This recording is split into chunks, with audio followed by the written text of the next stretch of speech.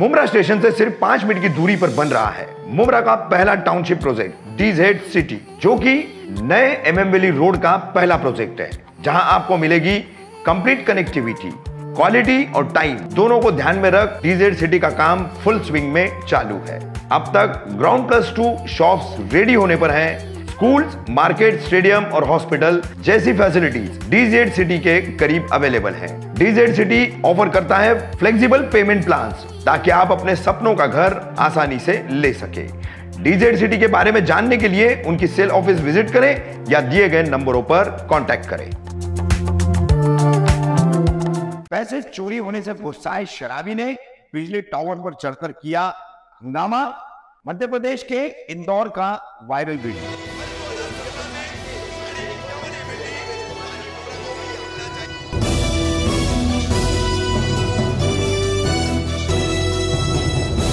Rafiq Kamdar, Hindustani reporter में आपका स्वागत है। आज आज हम आपको मध्य प्रदेश के इंदौर में, खजराना पुलिस स्टेशन के अंतर्गत आने वाले परिसर का एक वायरल वीडियो बता रहे देखिए, कैसे 90 फीट ऊँचे बिजली के टावर पर एक व्यक्ति चढ़ा हुआ है। इस व्यक्ति का नाम है संजय मालवीय। कैसे व्यक्ति टावर पे चढ़ा हुआ है? लगभग पौने घंटे के हंगामे के बाद पुलिस ने को नीचे उतारने में सफलता पाई। स्थानीय नगर निगम की टीम भी यहाँ पर पुलिस की मदद के लिए आई हुई थी। संजय मालवीय के संबंध में पुलिस का कहना है कि उसके पैसे चोरी हो गए थे। इलेक्ट्रिशियन पेशे से वो घर गया। शराब के नशे में था। पैसे चोरी होने का गुस्सा बच्चों पर निकाला, जिसकी वजह से सत्रह साल का बेटा नाराज़ होकर बाहर चला।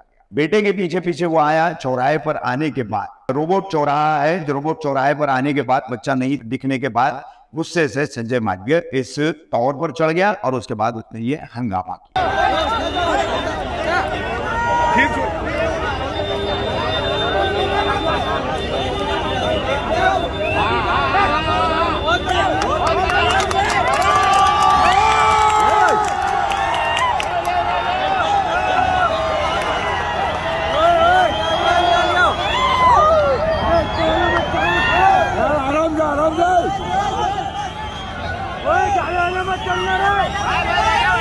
ज़्यादा ना